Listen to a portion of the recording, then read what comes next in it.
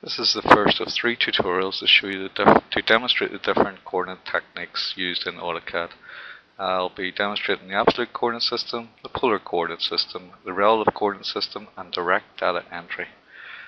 First of all, we'll start off any shape with an absolute coordinate. As you'll see here, I have start points A, B, and C, and an explanation of what absolute coordinates are. AutoCAD uses um, concept that the shortest distance between two points is a straight line. Uh, these are based on a simple x and y coordinate system.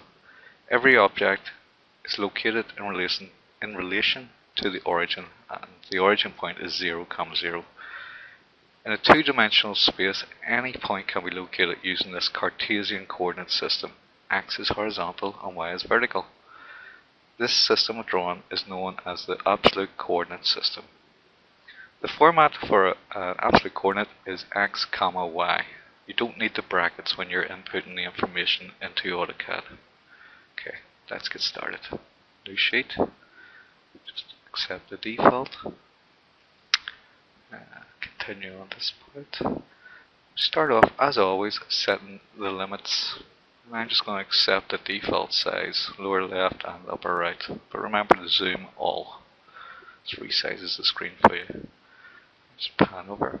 Um, I'm just going to start drawing a line, but let's first turn off object snap. I don't need it. I'm going to turn on ortho. and draw drawing horizontal and vertical lines. Line command. Now you type in the absolute coordinate. Hit return.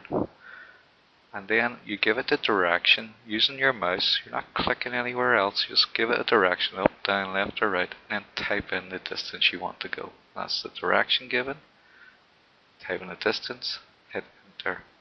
This is direct data entry. Give it direction with your mouse. Give it data on the key on the command line and enter. Direct data entry. Um, it's one of the most simplest coordinate systems you'll use, but you'll use it for every horizontal and vertical line. So I'm going to continue this shape and to close it off I'm going to use the close command. You'll see the options appearing in brackets there. Capital letter is C.